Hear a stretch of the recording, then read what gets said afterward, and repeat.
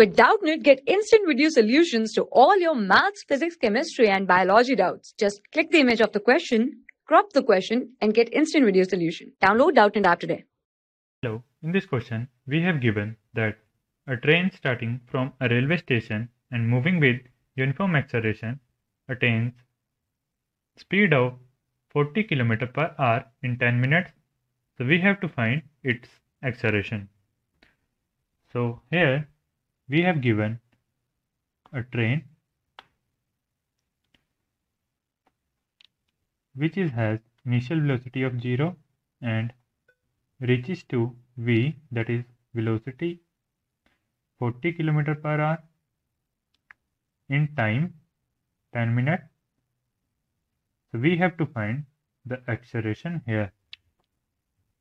So as we know that here we have given u is equal to 0, v is equal to 40 km per hour. So it will be equal to 40 into 1000 over 3600.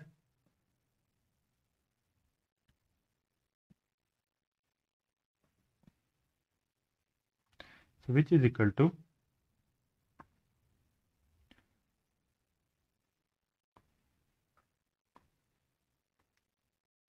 11.11 meter per second.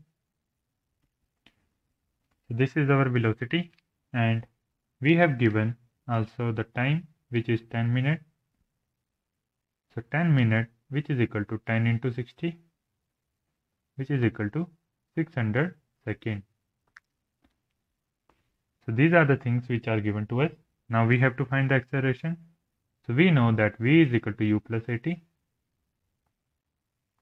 So here the v that is in uh, final velocity will be given to us that is 11.11 is equal to u which is equal to 0 plus a.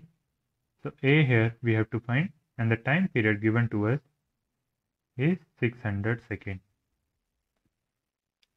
So from this we can get a which will be equal to 11.11 over 600. So our acceleration will be equal to 1.85 into 10 raised to power minus 2 meter per second square. So our acceleration here will be equal to 1.85 into 10 raised to power minus 2 meter per second square. So hope you understand the concept. Thank you. For class 6 to 12, IIT JEE and NEET level. Trusted by more than 5 crore students. Download Doubtnut app today.